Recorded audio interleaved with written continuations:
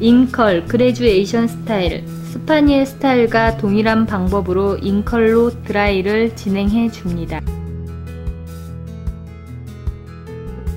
작업 순서 1, 2, 3 순서는 앞전 spaniel 이사도라 스타일과 동일합니다.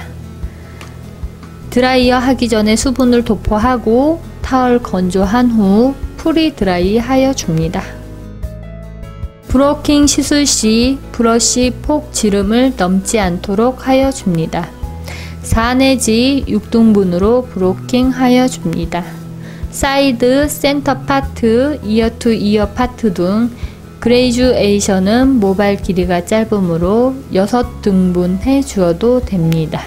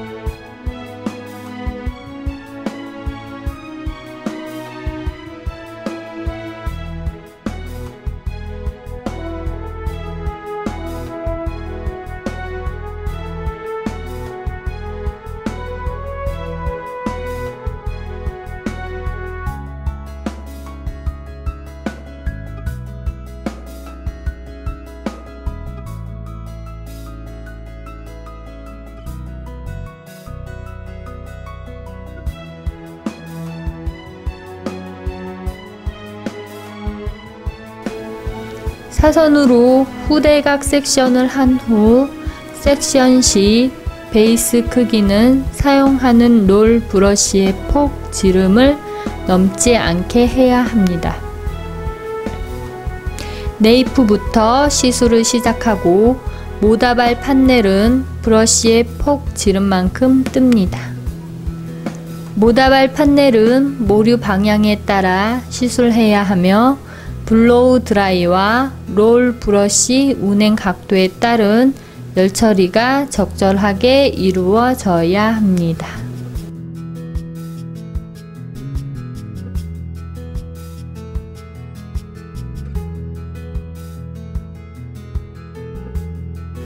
모발 결을 살려서 2 내지 3회 윤기 있게 질감 처리 드라이 하여 줍니다.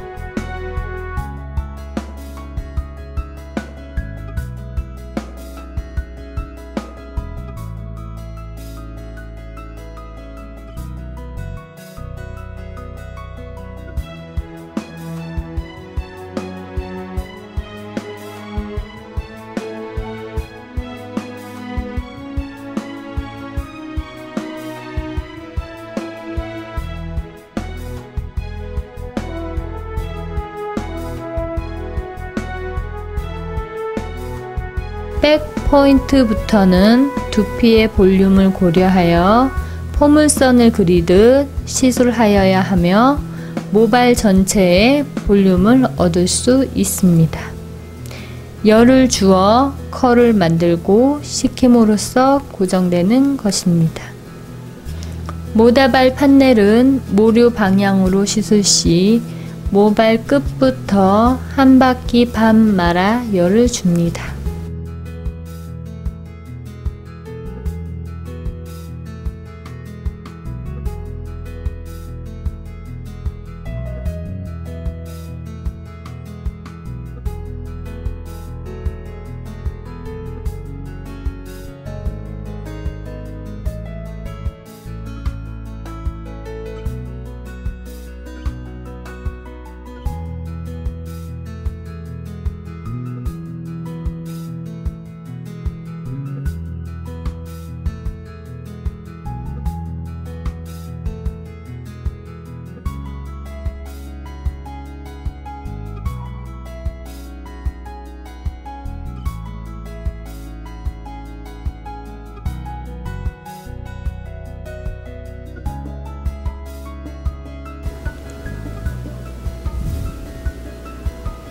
사이드 아래 첫 번째 판넬은 back 사이드 블로킹 경계선이 생기지 않도록 모발을 연결해서 자연스럽게 드라이하여 볼륨이 연결되도록 합니다.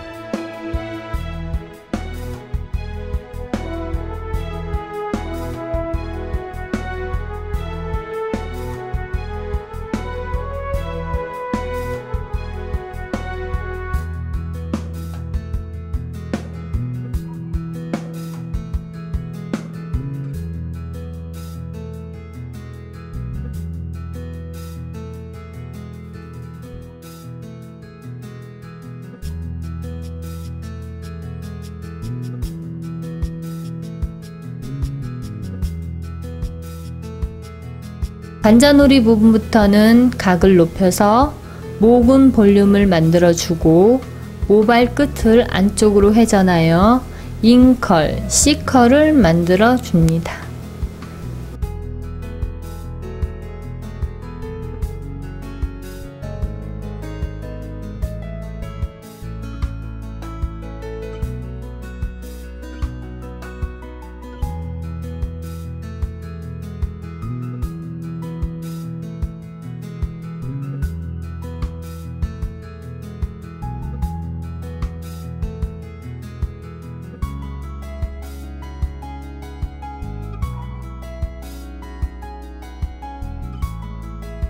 반대쪽도 동일하게 드라이 하여 줍니다.